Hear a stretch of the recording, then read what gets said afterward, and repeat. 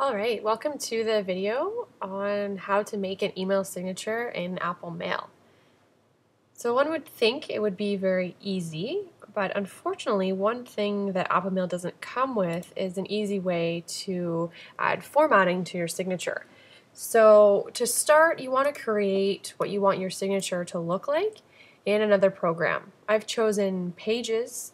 You could do it in Word. If you use something like Illustrator or InDesign, you can do it in a Google Doc. Anywhere that you'd write any text, uh, you can just plug in your information there. So I formatted this for Danielle um, using you know the light gray color that she uses, have all of the information.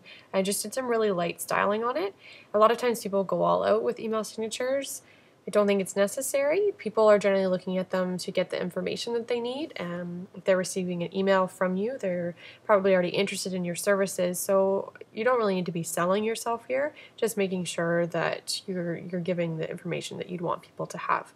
So what we do after we have our email signature the way we want it to look in another program, I'm just going to highlight the whole thing and copy it. So Command C, Control Z, or just right click and hit copy. Then you're going to go over to your Apple Mail. I have someone else's account in here just now, um, but basically you bring it up to your home screen, and then you're going to go into Mail, Preferences,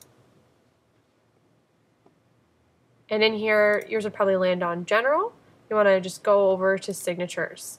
You'll see I have a bunch of different signatures and a bunch of email accounts in here, um, but we're going to be creating a new signature. So in your screen, you might have all signatures, and then you're going to have one or two of these boxes. If it says your email address here, just click on that one. Um, once you're in there, you'll see I've already created this one just to test it out. So you'll be in here and you just click on this plus button and that's you're creating a new signature. So default is signature 5. We're just going to call it Danielle Turk email signature.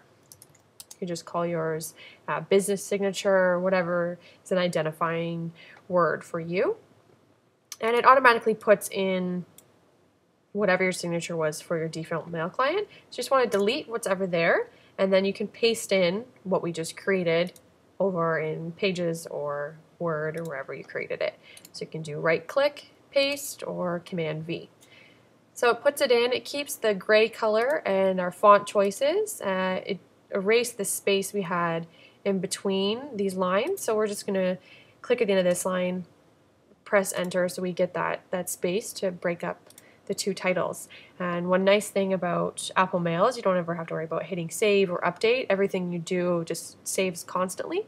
So once we've done that, we definitely have it saved and it's located inside mine is Gmail that's my default mail client that I originally set up my Apple Mail with so whatever yours is here it might be uh, live uh, Rogers whatever your default email is so once we've on that just to show an example of what it would look like to send an email. So we can exit out of that screen. And if I write a new message, you'll see on this bottom line here is where you're going to be concerned with. So if you have a couple of different emails that you can send from, uh, for example, you might have your default at rogers.com, but then you have a business account that's at danielhealth.com. So you would select from the pull down menu which email you're going to be sending from. And then on this side, you'll see signature options. So you can have a signature for just yourself, or you can have your business signature. So this is the one we've just created, Danielle Turk email signature. And as soon as we click that, you'll see it pops up on the bottom, and then you just begin writing your text. And you'll see it just stays there on the bottom. You can edit it uh, if you wanted to, but the, the whole point is that it just comes up automatically. And you can set standard settings, um, but I know for Danielle especially, she just wanted to be able to stick the email signature on email she was going to be sending out to clients. And once you're finished, you know, just send your email how you normally would.